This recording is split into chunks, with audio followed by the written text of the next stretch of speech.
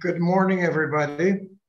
I am Luiz Augusto de Castro Neves, President of the Brazil-China Business Council, and I'm glad to be able to welcome all of you to the CEBC Summit webinar, US-China rivalry and its impact on Brazil. Uh, this event is made possible thanks to our sponsor, sponsor the bank Itaú BBA.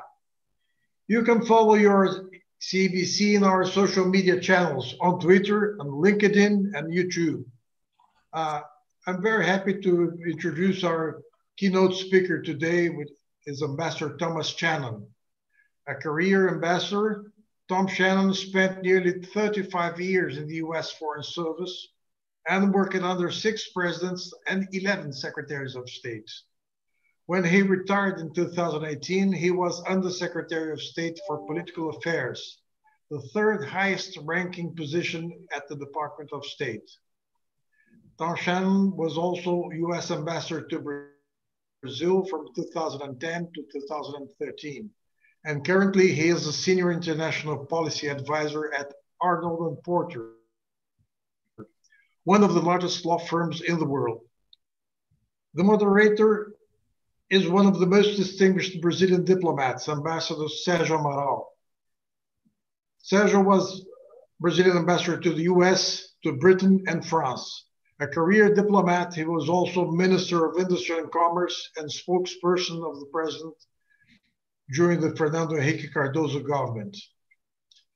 In the private sector, he presided the Brazil-China Business Council and was a member of the board of the World Wildlife Fund in Brazil, as well as French and Brazilian companies. Currently, Sergio is associated with the law firm Felsberg and Advogados and is a member of Fiesp Strategic Council. The idea is that Tom will speak for about 20 minutes. After that, Sergio will make comments and raise some questions. Uh, the last 20 minutes will be dedicated to questions from the audience. One can use the Q&A tool on Zoom to send your questions. I wish you all a wonderful event and give the floor to Tom Shannon, which I'm very honored to do. Tom, you have the floor. Well, thank you very much, uh, Ambassador Castro Neves. Uh, what a great pleasure to be with you and to be with my dear friend, Ambassador Sergio Amaral. And at this event, uh, sponsored by the, the Brazil China Business Council, uh, to talk about an issue that is hugely important for the United States, for China, and for Brazil, uh, which is how these three great nations and three great peoples relate to each other in the contemporary economic, political, and social environment uh, that we all face. And I'm looking forward to this discussion, uh, and especially looking forward to the questions and comments from Ambassador Amaral, but also broadly from those participating. Uh, my purpose is to have a dialogue with all of you, uh, to share my understandings, but also to understand better uh, your concerns and to see to what extent I can address them. Um, I thought it would be best to start by underscoring something that I'm sure you would all agree, which is that in many ways, the relationship between China and the United States is one of the defining relationships of the 21st century. In fact, maybe one of the most important defining relationships uh, in, in this century. But at the same time, it's not the only defining relationship. In fact, I would argue that Brazil's relationship with the United States and Brazil's relationship with China can also be identified as defining relationships, given Brazil's size, the importance of its democracy, the importance of its, uh, of its economy, uh, and the way that it has always projected itself into the world uh, beyond uh, its region and has always had a, a, a, global ambition similar to the United States and, and similar to China. And so to understand how this triangular relationship functions and how best to manage it, uh, I, I, think it's important to, to, to take a step back and try to understand first where the, the US China relationship is. And I would refer everyone to the speeches just given at the virtual UN General Assembly by President Trump uh, and by the Chinese leader Xi. Uh, for those listening closely, uh, both speeches are a cause for concern and worry. because they highlight a large differences between these two countries and an increasing view on both sides uh, that uh, China is an adversary to the United States, and from the Chinese point of view, that the United States is an adversary to China. Uh, President Trump was quite blunt in the opening, uh, his opening comments, in which he uh, said that China had to be held accountable uh, for uh, its handling of the coronavirus issue in China, blaming it for not engaging sufficiently with the international community, not limiting flights, not sharing information, and laying the groundwork for the pandemic that was to come. Uh, but he also pointed a finger at Chinese environmental policies, at Chinese economic policies, uh, and made very clear uh, that the United States saw in China a power that needed, uh, if not to be contained, at least needed to be constrained in some fashion. While the Chinese leader Xi was more diplomatic in his language, uh, and less aggressive in the way in which he identified the challenges facing China in the world. He made clear, without naming the United States, that uh, a attitude towards global affairs that understood global affairs in a zero-sum fashion uh, was a mistake, uh, and that major powers had to act like major powers, which meant that they had to accommodate uh, rising powers and that they had to find a way to expand and share uh, the common good or public goods.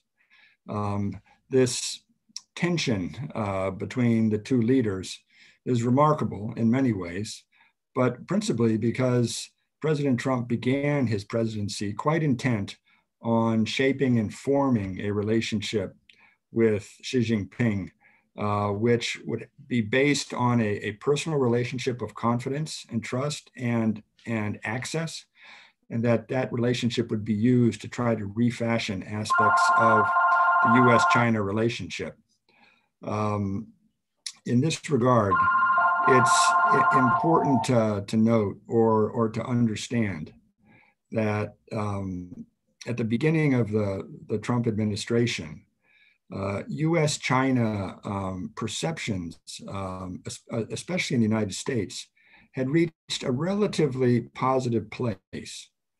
Um, in 2017, uh, research uh, or polling done by the Pew Research Center showed that about 40% of Americans viewed China favorably and about 40% of Americans viewed China unfavorably.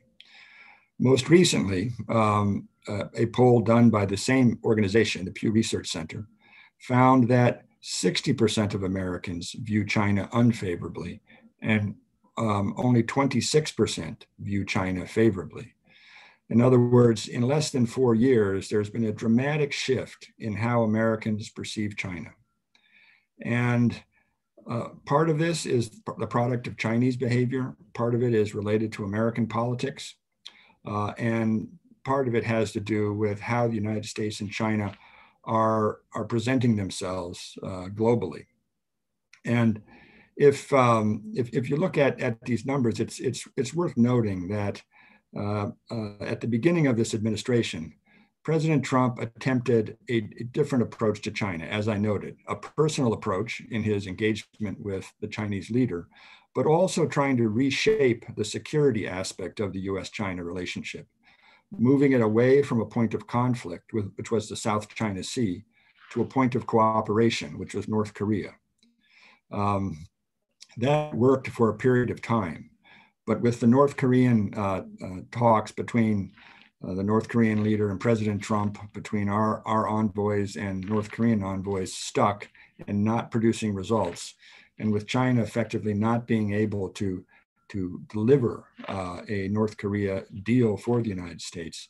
And then with the increasing economic uh, um, confrontation that has taken place between the United States and China, especially in the area of trade, uh, the relationships have soured over time. And it's important to note that in late 2018, uh, in a speech given at the Hudson Institute, Vice President Pence laid out a very different approach to China and said that while the United States had made a tremendous effort uh, to work positively with China, that China's behavior, uh, not only inside the United States, but outside the United States, indicated uh, that it was prepared to um, challenge the United States and try to assert itself in a way that was harmful to, to US interests. And this began a steady deterioration in the bilateral relationship that has been reflected in how Americans understand China.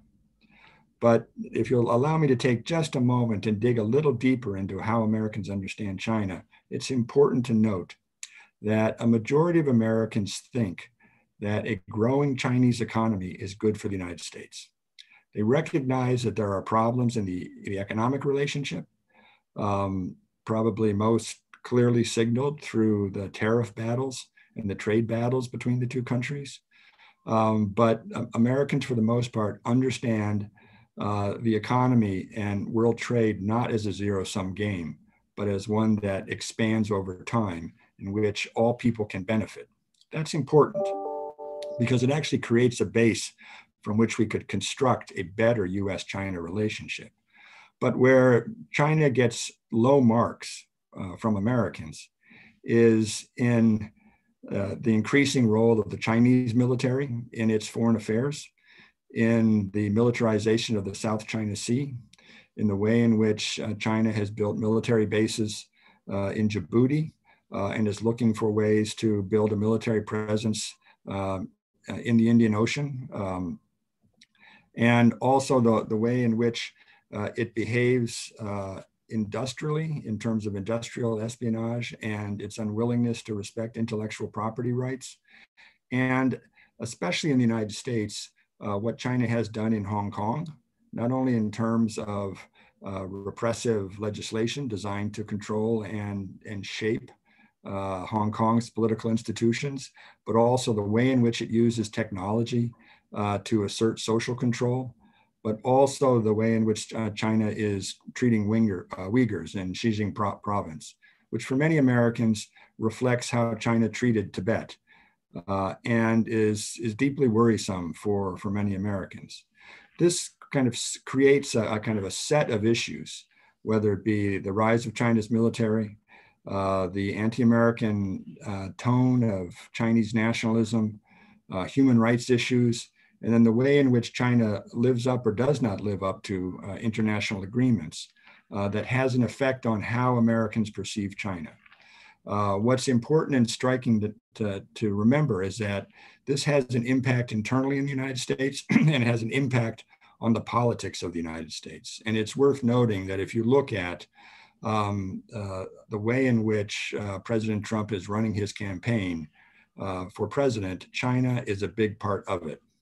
Not only because he's using uh, China uh, as a way to deflect uh, blame for how the US has handled the coronavirus and the pandemic, but also on economic issues and the need to have a strong government response to, to China. Um, this is a and if you look deeper into the Republican Party, whether you're talking about Secretary Pompeo, whether you're talking about other potential uh, presidential candidates in 2024, from uh, former governor and ambassador to the UN, Nikki Haley, uh, to Senator Ted Cruz, to Senator Tom Cotton, to Senator Marco Rubio. A, a strong uh, anti China platform is a big part of how they uh, uh, kind of promote their politics. And as such, we can expect that it's going to be a central part of how the Republican Party uh, addresses China. Interestingly enough, polling shows that in the Democratic Party, Russia is seen as a greater threat than China, but China is still viewed as a problem uh, and an adversary in waiting. Uh, and, and so, in this regard, um, the, uh, there, there is, a, to a certain extent, a, a bipartisan uh, support uh, both in the Congress and broadly in the United States, for much of the actions that President Trump has taken uh, towards China. But what's interesting to note is that the Chinese have a way of influencing this uh, through their behavior and through the way in which they engage with the United States. Uh, and I'm not sure if the Chinese if the Chinese fully understand that they that they have agency in this process, that they can have an impact. But it's going to be important for them to um, uh, to understand this and to try to play a role. Um, I've talked about uh, what Americans think of China. I've talked about how the Trump administration has changed its approach to China uh, across the, the nearly four years of its of its first presidency, and I've, I've touched briefly on um, how Republicans and Democrats uh, understand uh, China.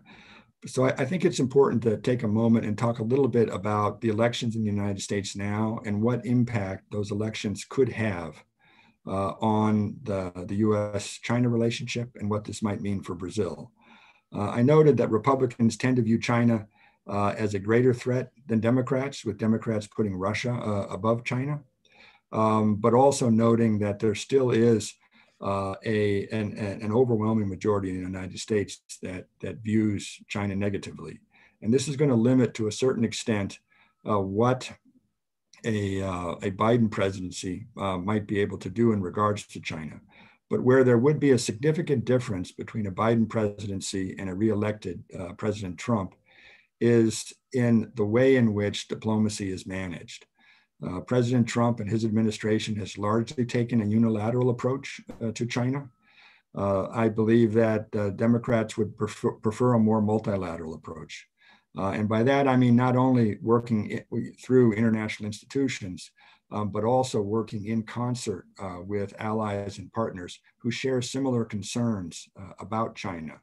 and these obviously are countries in our own hemisphere, Brazil among them, and our European trading partners who have significant trading relationships with China and looking for ways in which to use those trading relationships to influence how China behaves and how it relates to each other. And this brings me really to Brazil, uh, because it's obvious that uh, China is Brazil's most important trading partner in, in terms of, of gross numbers. Um, the United States is probably Brazil's most important trading partner in terms of value added and connection to a 21st century economy and innovative technologies. Uh, but there's no doubt that both of these trading relationships are important to Brazil. And the, the, the trick for Brazilian diplomacy is going to be how to maintain those two relationships, get the most from them for Brazil without alienating uh, or, or angering or fundamentally um, uh, damaging the relationships with either Brazil and the United States. Uh, the government of President Bolsonaro has been very clear in its support of the United States and the relationship between President Bolsonaro and President Trump. And President Bolsonaro, in his UN speech, um, was clear about how uh, Brazil was going to engage with countries that not only provided trade benefits, but also to a certain extent reflected the values uh, of Brazil. This was a quiet message of sort uh, to, to the Chinese. But uh, as, as Brazil looks into the world, and far be it from me to give advice uh, to Brazilian diplomats, um, they know how to do this well, and they have deep experience in this.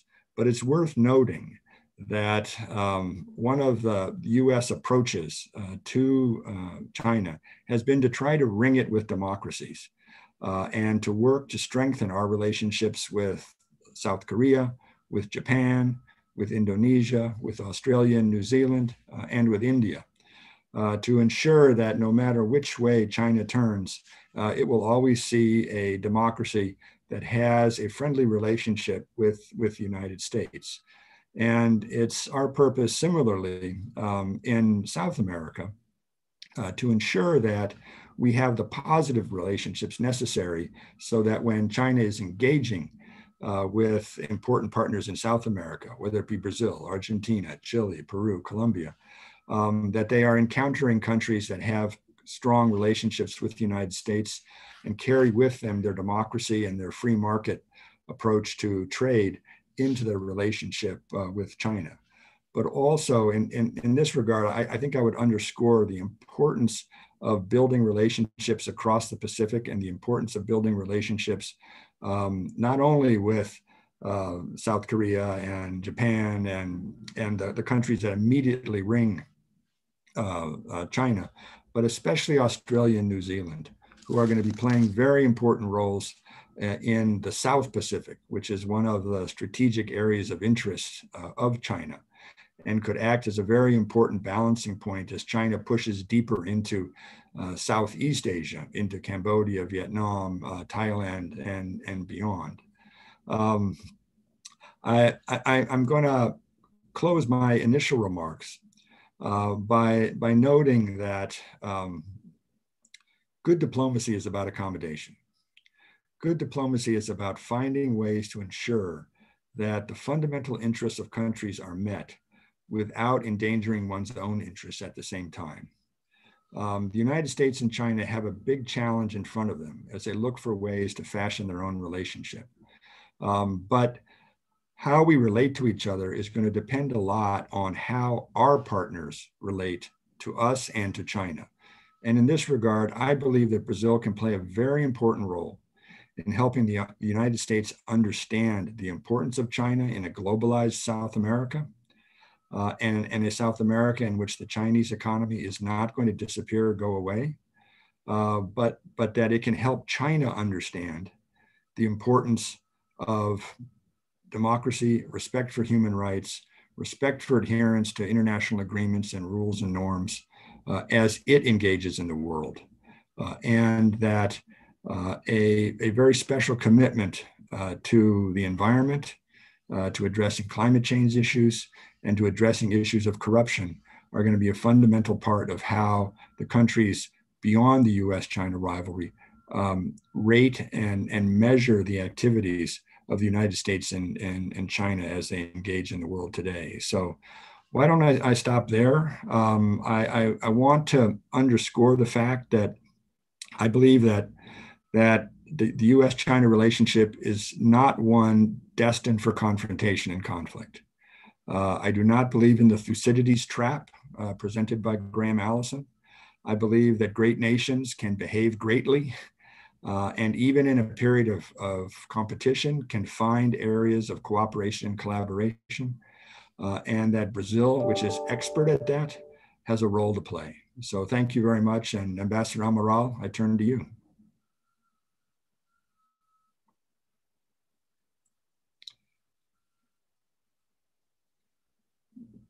Sergio, I think you're on mute. There you go.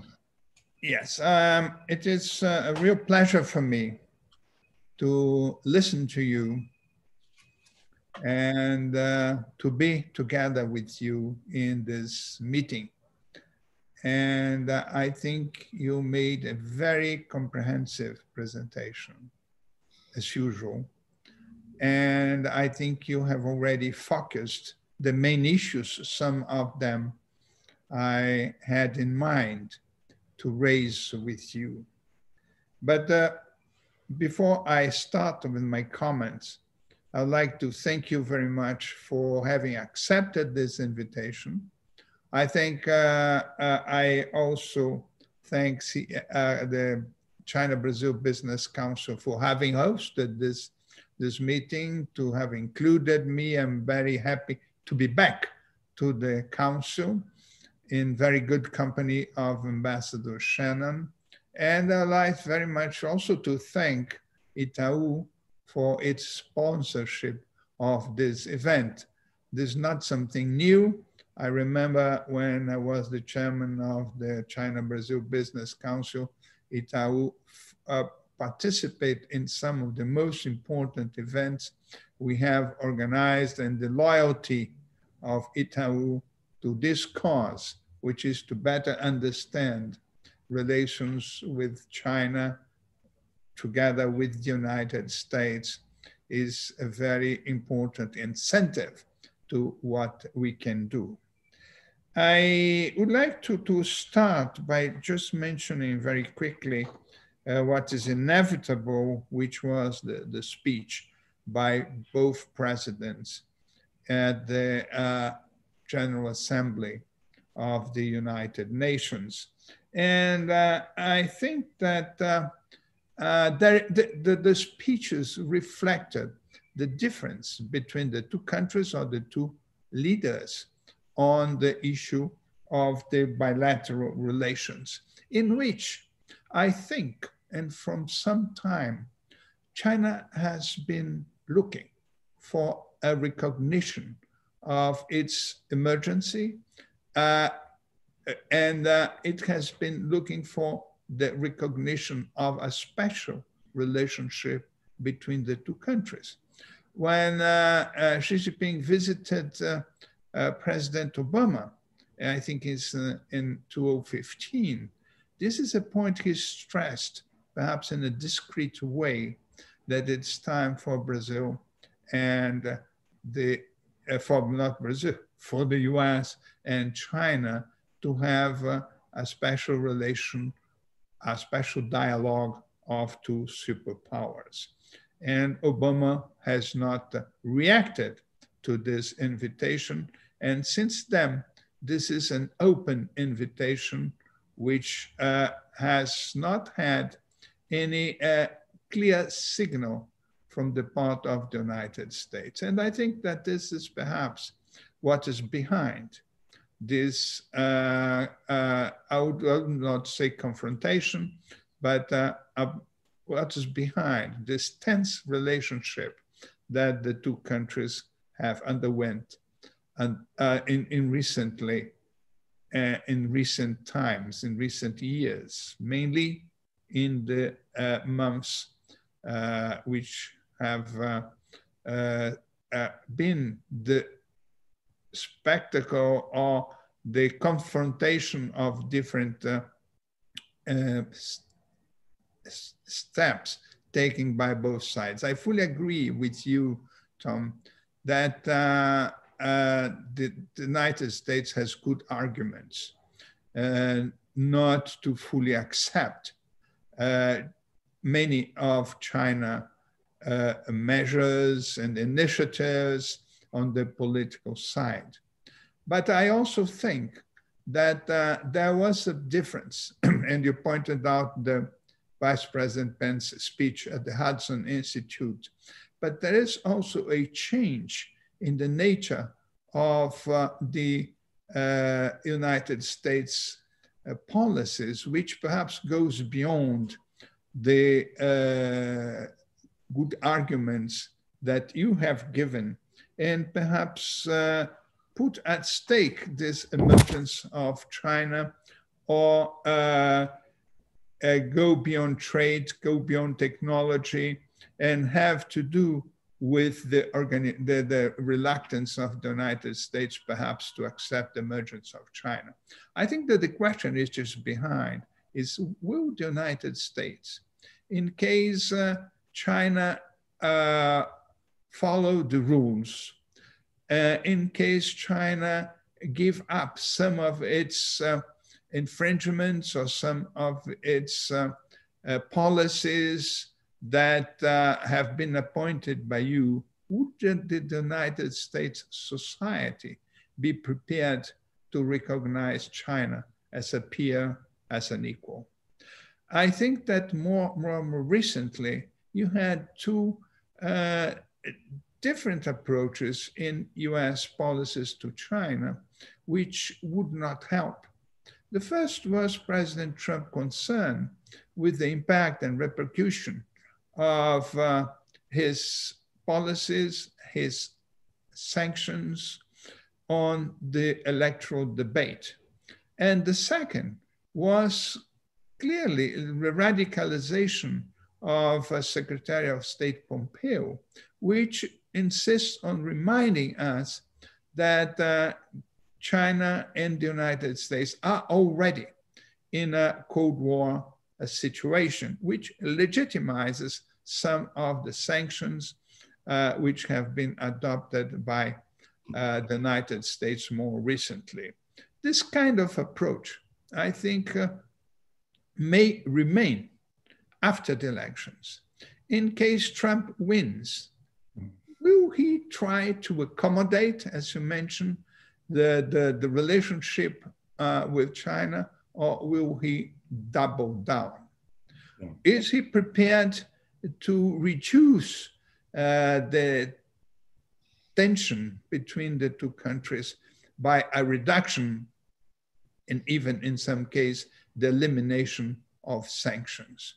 I, I, I think it's very interesting to realize that uh, uh, the two countries tend to adopt different approaches with respect to sanctions. On, on, the, on, the, on the US side, sanctions are a way to uh, force a country to adopt policies which are not their own. Uh, but uh, uh in the case of China, uh, sanctions are very difficult to implement because if they reciprocate sanctions on US companies in China, this would go against Chinese interest of keeping the normalcy of their relations and of uh, uh, showing to these companies that China is prepared to uh, continue its process of economic integration with the United States, which is a condition for uh, China to continue in its uh, positive economic uh, track and its economic prosperity. So it's very interesting that uh, if at the beginning uh, sanctions by the US were reciprocated by China in a, in a proportion in a proportional way, but more recently, China is much more prudent because if Trump succeeds in his intent to decouple the two economies. This will be harmful for uh, Chinese companies, but it will also be harmful to American companies. Take the case of uh, uh, many, many uh, Chinese companies like Apple.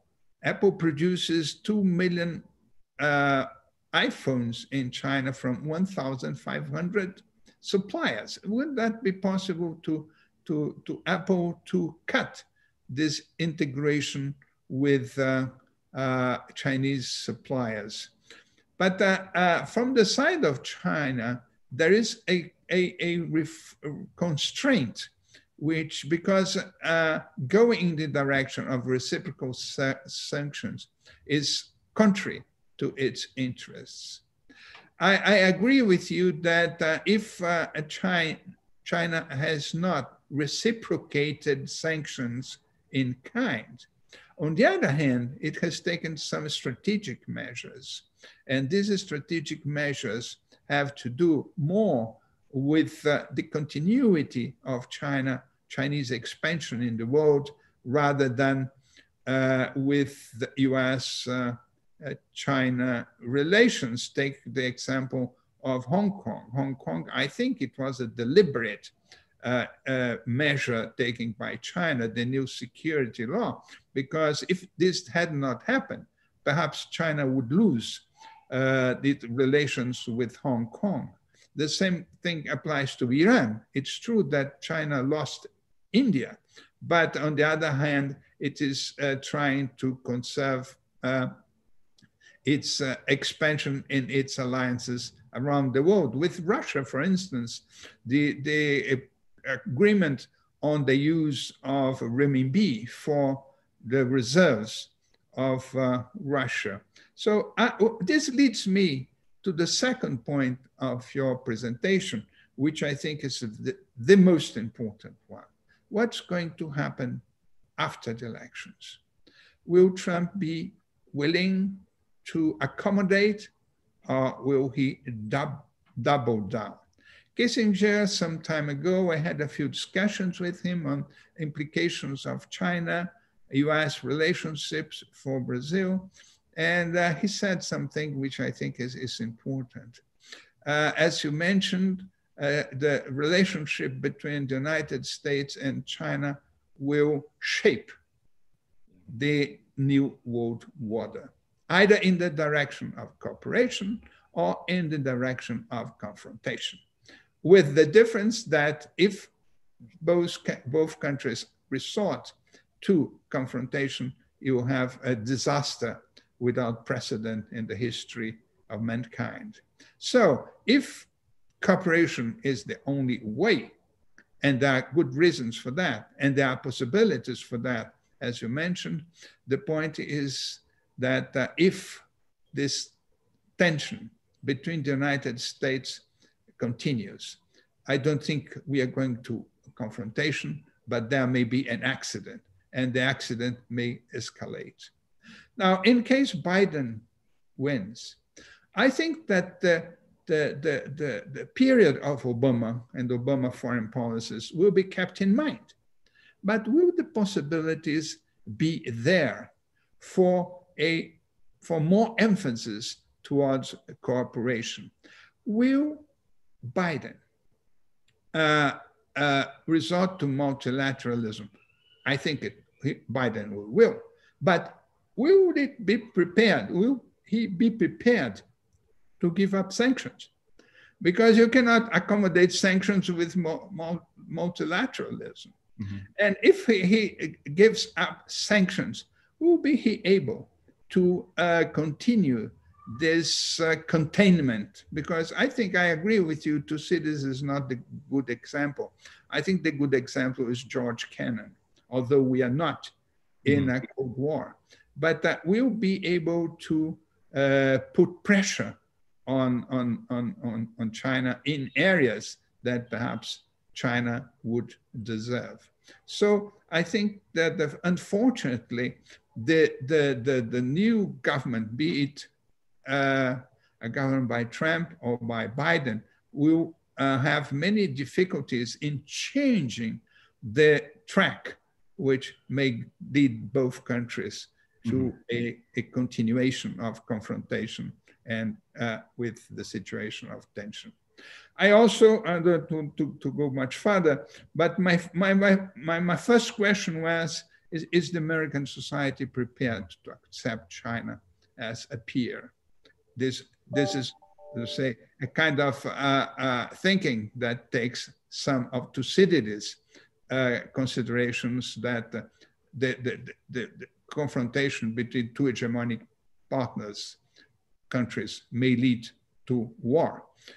The second, the, the second point is, uh, will Biden be able to change, be it for uh, the reason of popular support for uh, confronting China, or be it because uh, multilateralism implies the, the, the, the, giving up sanctions. And the third point, I think, is Latin America and mainly Brazil. I think uh, uh, the, the, the, this uh, uh, tension, rivalry, confrontation between China and the United States is very bad for Latin America because we may be confronted, and that that's where Kissinger continued his words and said, confrontation would face all other countries to take their sides.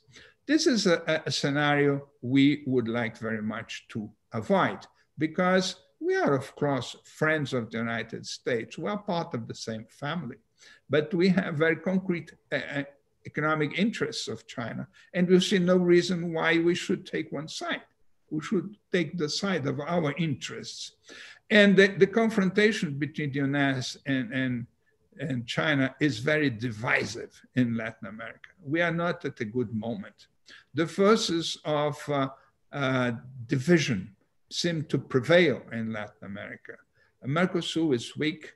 The convergence between Mercosur and the Alliance for the Pacific, I think, have been abandoned almost. And all this process of convergence which existed between Mercosur and Alliance for the Pacific and politically around the Club of Lima may be harmed. And I think this is not good for us uh, I think uh, uh, there's a point which is not positive for Latin America, and I don't even think it's positive for the United States, is towards the elections at IDB. I have nothing against Mauricio Carone, but this is a very bad signal for the region because uh, the, the president of IDB is more than the uh, manager of economic loans to Latin America. He used to be the representative, the vice of Latin America in the United States.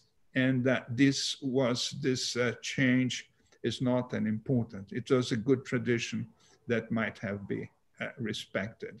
But uh, uh I think that for Brazil, it's not only the political aspects, as I mentioned, this, this confrontation reduces our space for autonomous foreign policy and, uh, and that puts us in a difficult political situation. But it's also economic because we cannot afford to lose important partners, either one or the other or any other country. So I think that um, I try to uh, emphasize some points.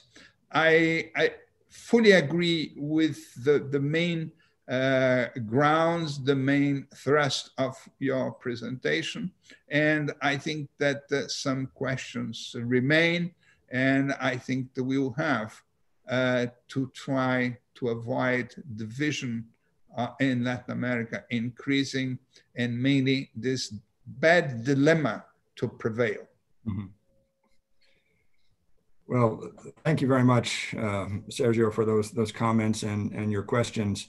Uh, I'll answer uh, the, the, questions briefly, and then we can turn to the, the, questions coming from the, the rest of the participants. Um, you know, are the American people prepared to uh, accept a, a peer or China as a peer? Um, you know, the American people are realists. Um, you know, they always have been. And uh, they recognize that that the world uh, develops uh, along pathways that are defined by many um, factors that are beyond the control of the United States, uh, and and so. I, I, don't think it's a question of whether or not they're willing to. I think I think it's really a question of they, they will accept reality as it presents itself. Uh, and if the reality is of China as a peer, it will be accepted as a peer um, at least economically. I think it's still a long way from being a peer militarily, um, but but or, or culturally, uh, but but certainly um, uh, economically in terms of, of, of trade and investment. Uh, I think the fact that the debate in the United States right now is about great power competition underscores that even in uh, those parts of the American body politic that are not friendly to China, there's a recognition uh, that China has become a, a, great power and therefore has to be dealt with uh, as such. So I, I, think in that regard, we're okay. Um, you know, in, in terms of what comes next, uh, depending on our elections, uh, first of all, with the Trump administration, there has been a division within the administration about how to address China. There has been a group of people in, in uh, the administration who view Chinese behavior as predatory and dangerous, but changeable over time, uh, or, or, it can be influenced over time, and therefore uh, want to use um, the hard punitive tools that we have at our disposal to send clear messages to, to the Chinese, but who recognize and understand the importance of both economies to each other uh, and do not want to do lasting damage or harm uh, to our economic well being or to China's economic well being. There are, however, others in the administration who believe that China is an implacable foe and that the only uh, salvation for us is to decouple uh, and to wound China economically and technologically in a way that it will not be able to recover quickly.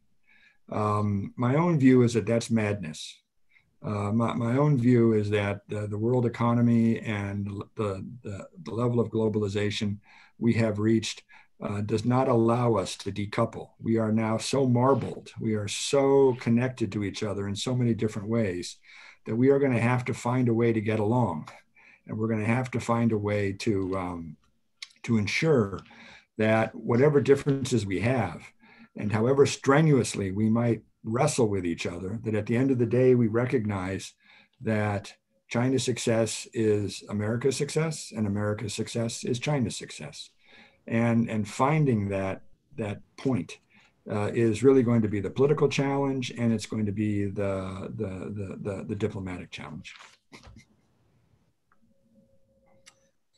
Thank you, Tom. And now we come to the questions from the audience, and the Claudia has already um, sent me a first one, and which is a key one.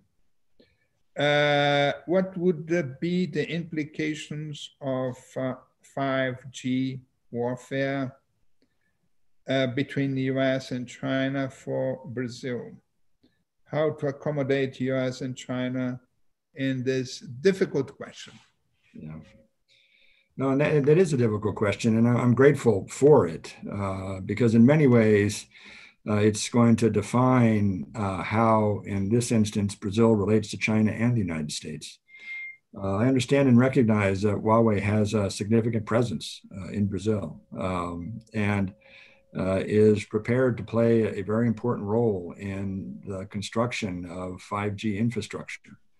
Uh, and uh, but the United States has has very real concerns uh, about Huawei and about the, the role of a, of a company like Huawei uh, in in building uh, out uh, that infrastructure.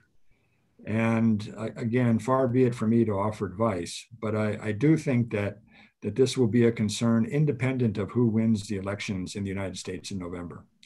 Uh, I, I, think it is uh, built uh, on the importance of 5G, on the importance of information infrastructure, and, and the importance of, of ensuring that that infrastructure be trustworthy, um, especially if uh, information related to the United States and related to the security of the United States is is being moved uh, uh, across that that information spectrum. Um, that said, um, uh, I believe there are, are tools that can be used to diminish uh, the, um, uh, the vulnerabilities uh, and the danger presented uh, by having a, an untrustworthy partner uh, in this regard, um, or at least one that is viewed untr- in an untrustworthy fashion by the United States. And, and what the United States and Brazil have to do is, is have a, a pretty frank conversation um, about what what we can live with and what we can't live with. And then Brazil will have to make a decision, recognizing that it has development um, goals and needs where um, this 5G infrastructure is going to play a very important role. Thank you. I think there's there's a new question that to I think to some extent, a large extent, has already been touched upon.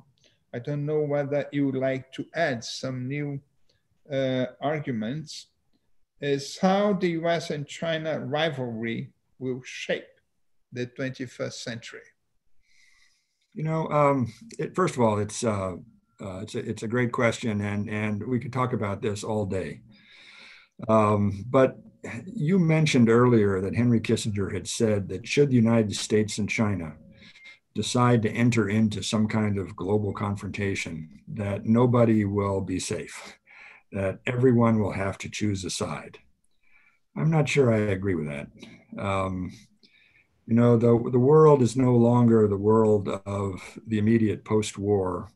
And um, the difference we're dealing with here are differences of, of power and purpose. They're not necessarily ideological differences, although we and the Chinese view the world differently and understand governance differently.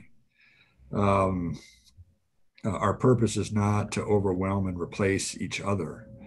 Uh, you know, as it was in our struggle with with the Soviet Union. And during the Cold War, there was almost a kind of magnetic process that ordered the world in which people were pushed to one side or, or the other.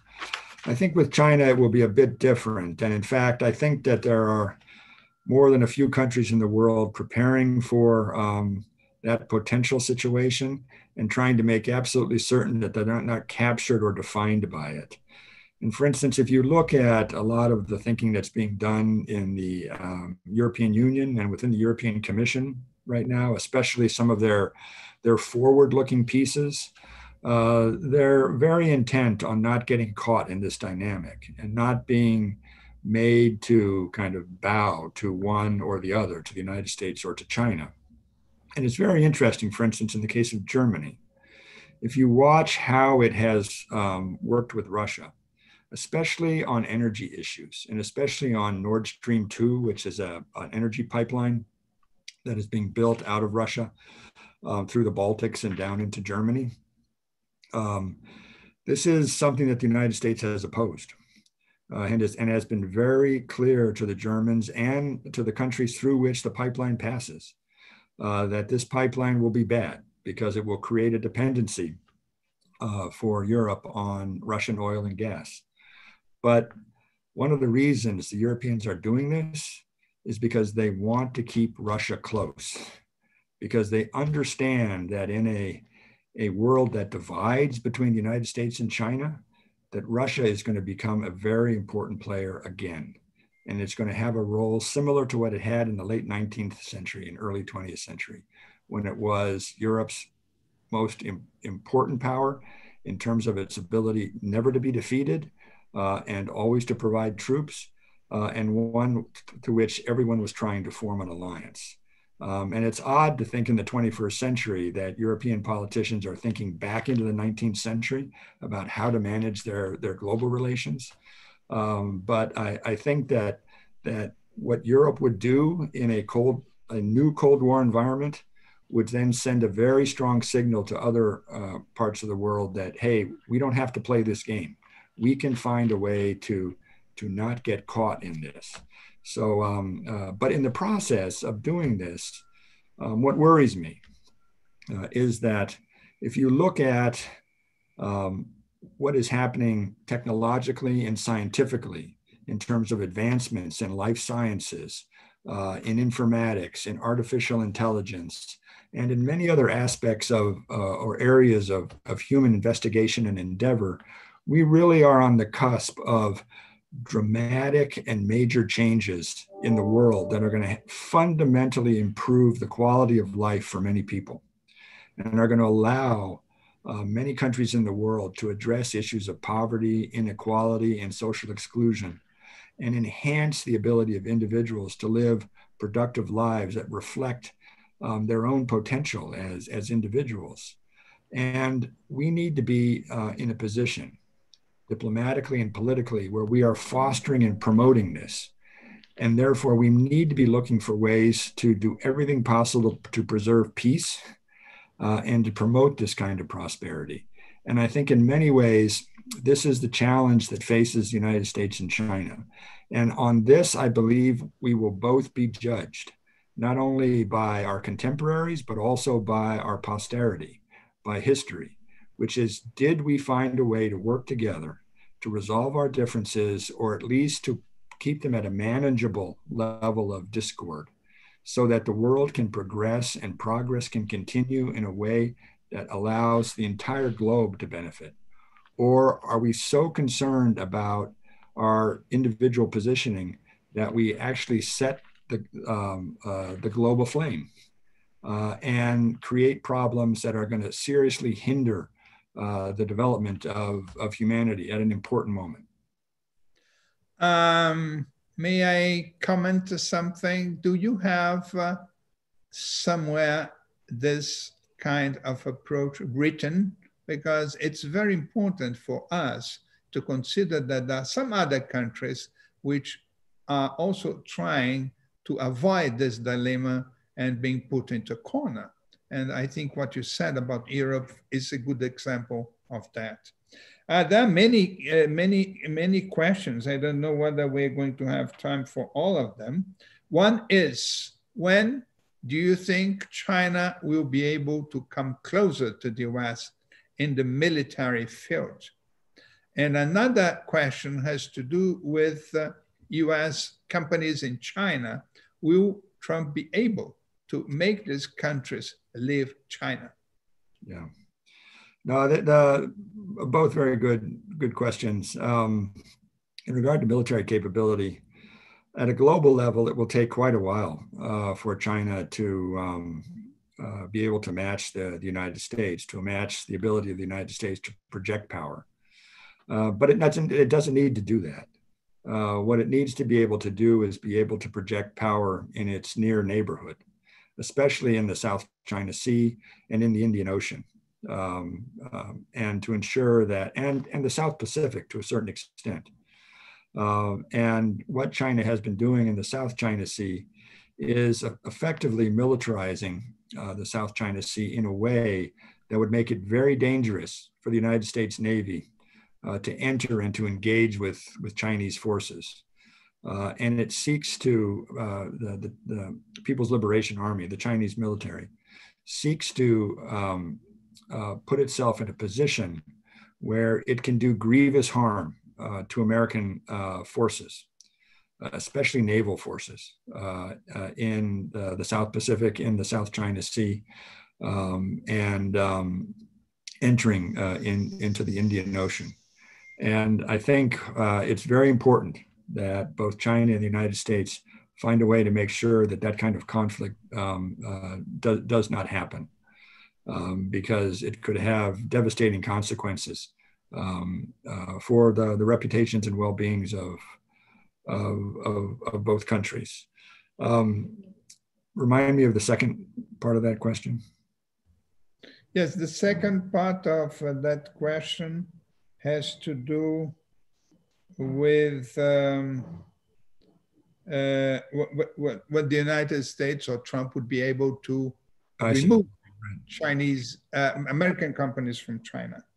Uh, well, I mean, the, the, the, the, federal government typically does not put itself in a position where it tells companies where they can go and where they cannot go, um, unless the, the countries are completely off limits. Um, uh, there are tools at the president's disposal um, um from taxation, you know, to to, to other other tools, but um, they're not easy to manage. Um, but but I I do think that um, uh, one of the things you will see, and as a result of the pandemic, and as a result of the turbulence in the relationship, is that some companies themselves will begin to think that China might not be a good place to source their materials from and that they need to move their supply chains uh, to parts of the world that uh, are um, are less subject uh, to, to this kind of, of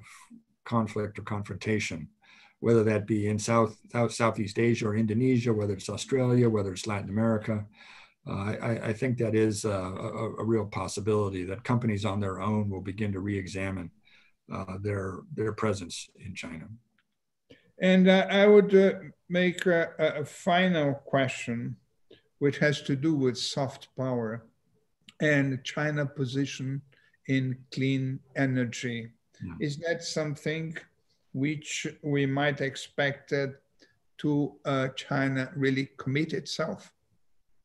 Oh, I think so. I mean, it's ironic to a certain extent because China is the world's greatest emitter uh, of of greenhouse gases um, and has a, a, pretty horrific environmental record, uh, at least you know during its industrialization. But at the same time, it has become a, a real leader in some uh, environmental technologies, and and this is to be promoted. This is good. Um, you know, we want a, a, China that is diversifying its its energy portfolio, that is looking for ways to to address environmental degradation. Uh, and and I, I think that that one would hope that, that this is an area in which the United States and, and China might be able to find uh, important cooperation. And in a, in, in, a country like Brazil could play a very important role in that, given what Brazil has done on environmental issues, um, and, and especially in regard uh, you know, to um, non-fossil fuel um, energy sources. Master Shannon, thank you very much for your presence with us, for the very thoughtful remarks you have made. And I think uh, there are many issues in which uh, your remarks enlighten our policies or our goals. And I'll turn to Ambassador Castro Neves now to make the closing of this very rich conversation.